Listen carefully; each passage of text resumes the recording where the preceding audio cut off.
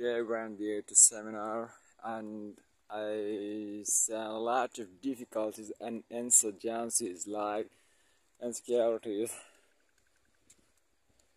I'm hungry and didn't enter anything like I feel hunger and satiety and I'm too thirsty. Now I'm walking in the field like barefooted like this.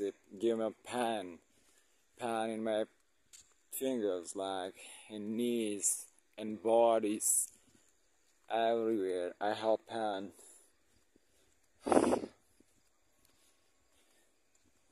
You can see this. Just see the moon. I went there and meet to the doctor I'm. Mm and the conversation was too fruitful and friendly. Like uh, he said that you can go with uh, nutrition degree to the tourism and hotel hotel management. So I get some ideas about this, and I feel some urge urge to go there. Finally, I'm trying to guide by them. I pray to pray to Allah that Allah bless me this and I'll get a job and go to Persia.